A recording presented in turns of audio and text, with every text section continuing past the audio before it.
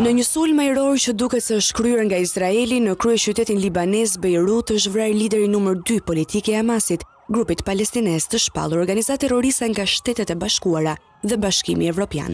Vrasja e Saleh Arourit mund të paraqesë një përshkallëzim të madh në luftën e Izraelit kundër grupit radikal palestinez dhe të rrisë rrezikun për një konflikt më të gjerë në Lindjen e Mesme.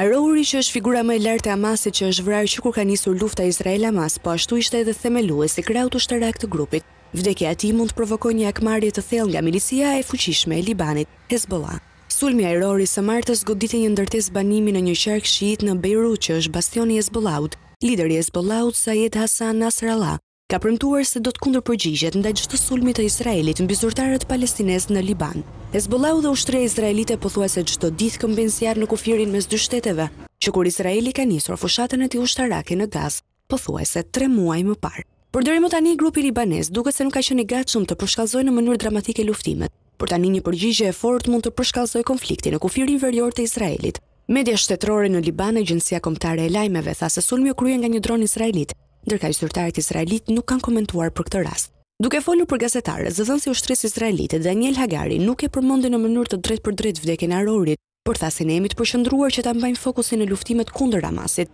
Ne jemi në gatishmëri të lartë për çdo skenar, shtoi ai.